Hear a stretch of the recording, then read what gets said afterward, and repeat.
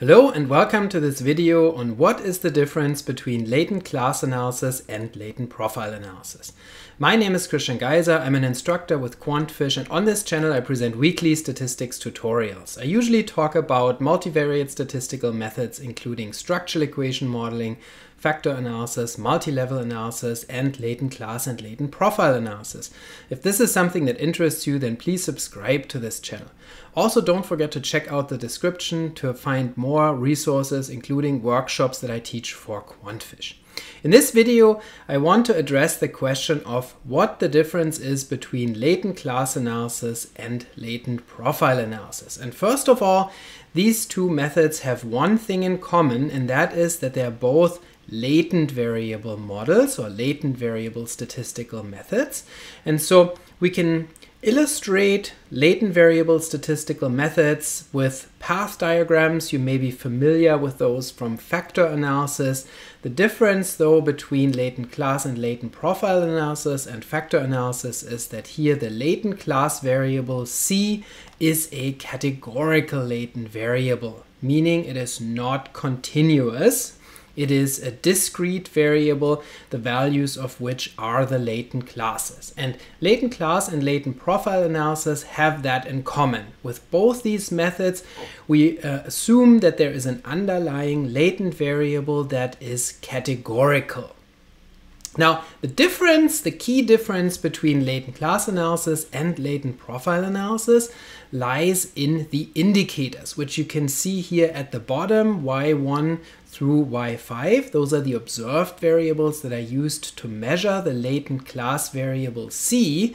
And those indicators can either be categorical, in which case we speak of latent class analysis or sometimes classical latent class analysis or those indicators could be continuous metrical interval scale variables, in which case we speak of latent profile analysis. So with latent profile analysis, we use continuous observed variables such as test sum scores, questionnaire, mean, or sum scores across a number of questionnaire items, whereas with classical latent class analysis, we're using either binary items or ordinal items as indicators. And so that's the fundamental difference. And that has implications for what is being modeled with those techniques, which is why they are treated differently. Now, that being said, I can already tell you that the difference really isn't that clear cut because modern software programs for latent class and latent profile analysis, such as Mplus, will also handle a mixture of categorical binary, ordinal, and continuous items. So you can have all kinds of different scale levels with regard to your indicators and Mplus will still handle that and will still extract a latent class variable for you regardless of whether some items are binary, ordinal, or continuous. However, so say in the classical sense, we have that distinction early software programs for latent class analysis were not able to handle continuous indicators which is why those were, or it's one reason why those were handled separately initially. Now the distinction is more blurred, which is why some folks will call both these techniques and others latent class analysis because the goal with both these techniques and others is that you want to extract latent classes. And those are both mixture modeling techniques. They only differ with regard to the indicator variables. Now let's move on and let's take a look at what implications that has for the output or the results of latent class versus latent profile analysis. And I'm going to begin with latent class analysis and I'm going to show you what the resulting output for the categorical indicators looks like based on an example. So in this example, the indicators of my latent class variable here are binary items that reflect computer game preference and they were simply scored as 0 for I do not like to play this type of game and 1 I do like to play this type of game. So 0, 1, yes or no, yes. And so all these items can take on only two values, which is why classical latent class analysis with categorical indicators is appropriate here. And so as the output then, or item parameters in latent class analysis, we estimate conditional response probabilities for the categories of our binary or in other cases ordinal items. And those conditional response probabilities obviously can range from 0 to 1. We could also call them class specific response probabilities because they depend on they depend on membership in a given class C. In this example, a three class solution was selected. So the categorical latent variable C had three categories or classes. Class 1 is one where you can see that individuals have high probabilities of playing logic and skill games and relatively low probabilities for other games such as action and simulation games. Class 2 is one with low probabilities across all five types of computer games, so this could be interpreted as a non-player class. And class 3, interestingly, has um, sort of like exactly the opposite pattern compared to class 1. So that's almost like a mirror image of class 1, where those individuals in class 3 have a high likelihood of uh, liking action games and liking simulation games, and where those individuals in class 3 do not like logic and skill games. So those three classes are clearly distinct and there are clear um, clear um, differences in terms of qualitative differences between those classes where they either don't like any type of game or they have very specific preferences for specific types of games and those class um, properties are reflected in the conditional response probabilities, which are estimated as one parameter of classical latent class analysis. The second parameter that is estimated for latent class analysis are the latent class sizes or class proportion parameters, which you can see here as percentages in the legend. You can see that class 1 here comprised 19.2% of individuals, class 2 comprised 49.2%, so almost half of that um, sample here fell into the non-player class, and then class 3 had about 32%. And those are um, the class size parameters here given in terms of percentages, and those are also estimated in a classical latent class analysis. Now, you can already see that this sort of estimation of conditional response probabilities would not work for a latent profile analysis because a latent profile analysis deals with continuous indicators. And when you have continuous indicators, so let's say those computer games were scored on a scale from 0 to 100, let's say where 0 indicates absolutely no preference for, for example, action games, and 100 would indicate absolute high loving preference for action games, and then in the middle you have all kinds of other possibilities to express your liking or disliking of computer games. So on that continuous scale from 0 to 100, you would have so many categories. And so having to model the probabilities of all those categories from 0 to 100, that's not efficient and that doesn't work. So when we have continuous variables or quasi-continuous variables such as item or questionnaire sum scores, test sum scores, then we use latent profile analysis and then we no longer model conditional response probabilities because there are simply too many categories or too many possible values on those continuous variables. Now then, how does it work for latent profile analysis? What do we look at in terms of profiles? Let's take a look at an example here as well. So in this example, I also have five indicators for a latent class variable. However, in this case, the indicators are scale scores, meaning test or questionnaire sum scores that in this case reflect the big five personality traits, emotional stability, extroversion, openness, agreeableness, and conscientiousness. And so here, what is being modeled are personality profiles. Now, again, those indicators here are continuous in terms of their scale level, so they're no longer binary, and therefore we cannot model conditional response probabilities, but instead, what we are modeling now are class specific or conditional, we could say, means. So the means across those five variables are now modeled for different classes. And again, here we have a three class solution where one class is characterized by high average scores on all five big five personality trait scores.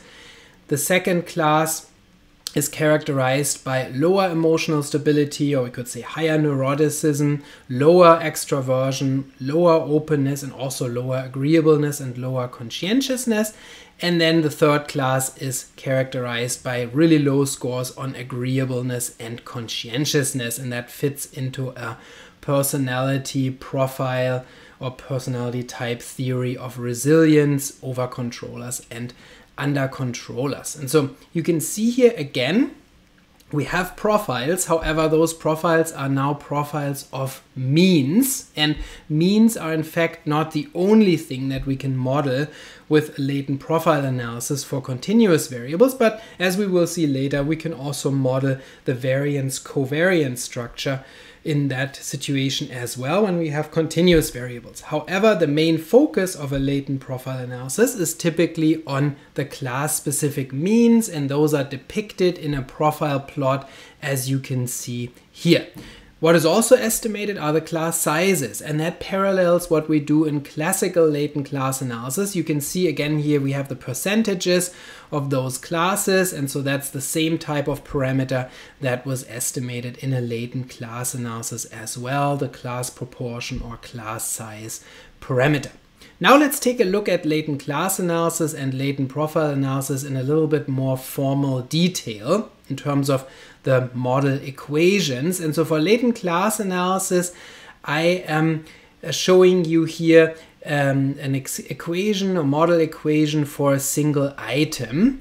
And so what you can see on the left hand side is the probability that a specific item yi will be scored in category Ri for that item i. So in other words, that the response will be either 0 or 1. So that probability is being modeled here. And on the right hand side, you can see the model parameters of the latent class analysis. And you can see that those conditional response probabilities are a function of the class size parameter gamma c. So this gives the unconditional probability of belonging to a specific class C.